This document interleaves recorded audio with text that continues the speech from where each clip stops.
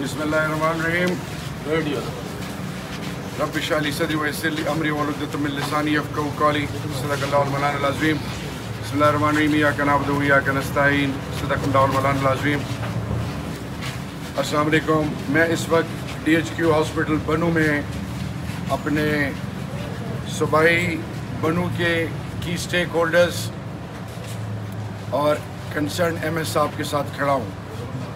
यहाँ पे बकौल एम एस साहब के और उनके टीम के कि एक डेड बॉडी और अबाउट 21 इक्कीस इंजर्ड यहाँ पे लाए गए।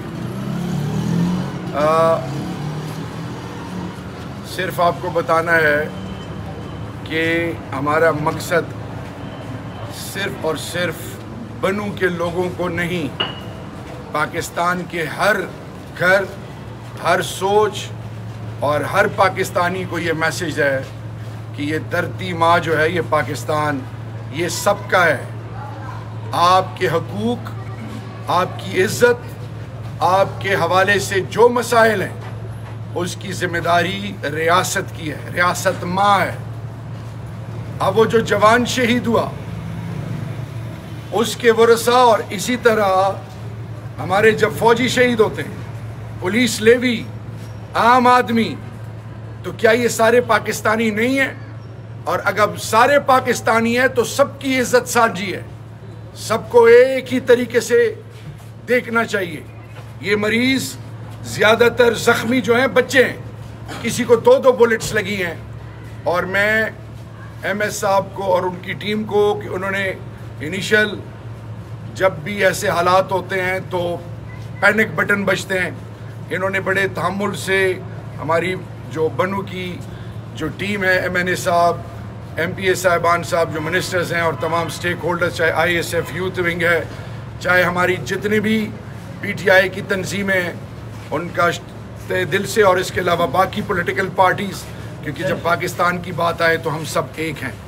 आ, मकसद ये है कि वो अभी एक मरीज़ को देखा उसके हवाले से इनसे बात की, उनको ये रेफ़र करेंगे।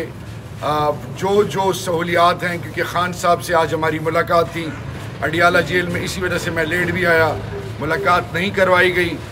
फिर उसके अलावा अमन जरगे से वहाँ पे प्रेस क्लब में भी बात हुई। अभी यहाँ पे आए हैं मरीज़ों को देखने के लिए। तो सूबाई हुकूमत, अली अमीन गंडापुर साहब बिल्कुल, बिलखसूस खान साहब और अली अमीन गंडापुर साहब के अहकाम हैं जो हम यहाँ पे आप बनू के लोगों के सामने रख रहे हैं कि किसी किस्म की तकलीफ़, कोई ऐसी चीज़ जिस जो इनको ज़रूरत है, वो इनको मुहैया की जाएगी। अगर खुदा न खास्ता ज़्यादा ज़ख्मी या उनके इलाज के लिए कोई और चीज़ चाहिए तो उनको वो भी प्रोवाइड की जाएगी। इसके अलावा शहीद जो है उसके हवाले से और ज़ख्मियों के हवाले से वो अली अमीन गंडापुर साहब बाद में फिर आपके साथ सारी चीज़ें रखेंगे। सिर्फ़ आपको ये बताना है कि हॉस्पिटल में मैं आया हूँ मैंने बहुत सारी चीज़ें देखी हैं और आ, मैं खराज तहसीन पेश करता हूँ बनू के लोगों को पुरान रहने पे। आप अमन के दाई हैं आपने अमन के लिए अलम उठाया हुआ है। और इन अमन अल्लाह पाक हमें देगा और हम लेके रहेंगे इन बेज़ल्ला ये हमारा ईमान है। सिर्फ़ आखिर में आपको मैसेज ये है कि पर अमन रहना है। हमने हिम्मत, हौसले, क्योंकि हमारी असलाफ, हमारे अबाव अजदाद हमारी तारीख़, हम इस धरती माँ के मानने वाले हैं। ये हमारा ईमान है, ये मुल्क। हम कानून और आइन के लिए खड़े हैं। मेरा लीडर इज़्ज़त नफ्स की बात करता है। मेरा लीडर हर पाकिस्तान की खैरत की बात करता है। मेरा लीडर पाकिस्तान की इज़्ज़त की और खैरत की बात करता है। मेरा लीडर कहता है कि सर उठा के जियो क्योंकि ये आज़ाद रियासत है। तो आज मरीज़ों के हवाले से तमाम चीज़ें मैं अभी इसके बाद इन चीफ मिनिस्टर साहब को भी बताऊँगा। और कोशिश है कि हमारी लीगल टीम जो खान साहब से मिलती है, उनको भी बता के खान साहब को भी इस हवाले से हम एजुकेट करें। सात एम मेरे साथ आए हुए थे। बाकी प्रेस क्लब में उसके अलावा मैसेज खान साहब का बनू के लोगों के लिए है कि हमने अहद किया हुआ है कि हम एक बावकार खैरतमंद पाकिस्तान, एक ऐसा पाकिस्तान जिसमें कोई गरीब ना हो, जिसमें किसी की तजलील ना हो, एक ऐसा पाकिस्तान जो अपने फ़ैसले ख़ुद कर सके, एक ऐसा पाकिस्तान जिसकी किसी पाकिस्तान के घर में चादर और चार दीवारी को पामाल ना किया जाए। ऐसा पाकिस्तान जो कोई गरीबी के नाम पे रसवाई उसका मुकदर ना हो। ये हमारा मकसद है कि इन एक बावकार कौम बनेंगे। रही बात एक दफ़ा फिर एम एस साहब, मेरी आप आपसे रिक्वेस्ट है, अल्लाह ने आपको इज़्ज़त दी है। आप उन लोगों में हैं जो अल्लाह इंसानों के लिए, खैर के लिए आपको और आपकी टीम को चुना हुआ है। तो आप मेहरबानी करें। कोई ऐसी चीज़ है, एक मरीज़ का नंबर मैंने ले लिया है। बाकी हमारी टीम यहाँ पे मौजूद है। कोई चीज़ आपको चाहिए हो, सूबाई हुकूमत से, कोई दवाइयाँ हो, कोई ऐसी चीज़ हो, किसी टाइप की असिस्टेंस हो, यहाँ तक कि मैं अभी हेल्थ मिनिस्टर को कहूँगा कि हमें तीन, चार आपसे रबता करें।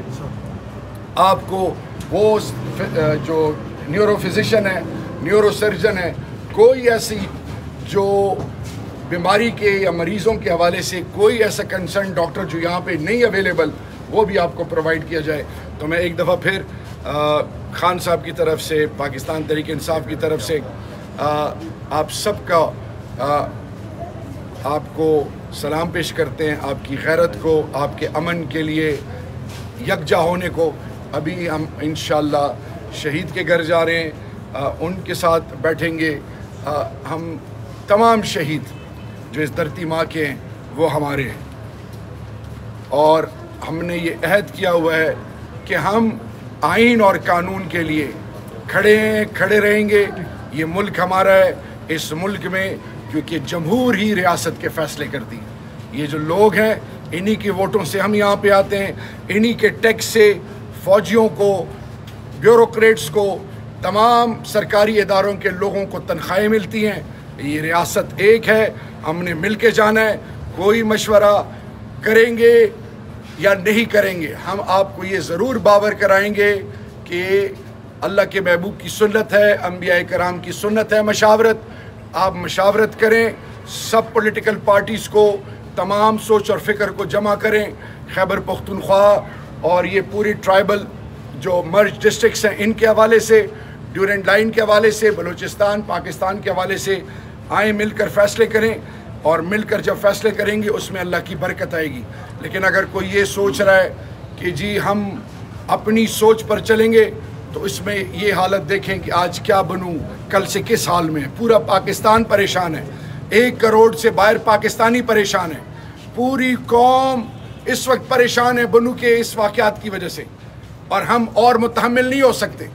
हर घर खैबर पख्तनख्वा का, जनूबी अजला का या आपको आई डी पीज मिलेंगे, या आपको माजूर मिलेंगे, या आपको शहीदों के घर, या कोई ना कोई किसी का प्यारा जेल में बंद होगा, या कोई मिसिंग पर्सन में होगा। आखिर कब तक? हमने कौम को गले लगाना है। यही वो, ये शहर हॉकी के लिए, वॉलीबॉल के लिए, पाकिस्तान के लिए इज़्ज़त कमाने वाला शहर है। यहाँ के सपूतों ने बाहर बैठ के टैक्स अपना पैसा कमा के यहाँ पे रेमिटेंसेस की शक्ल में बेचते हैं। यहाँ के लोग दीन से जुड़े हुए हैं। यहाँ के आलिम, हाफिज, मुफ्ती, यहाँ की खैरत, यहाँ के रिवायात अकदार पाकिस्तान के हैं। ये पाकिस्तान से जुड़े हुए हैं। तो इनकी इज़्ज़त हम सब पर फ़र्ज़ है और ये इन इमरान खान की सोच के मुताबिक इनको इज़्ज़त भी दी जाएगी और इनके तमाम मसाइल का हल भी ढूंढा जाएगा इन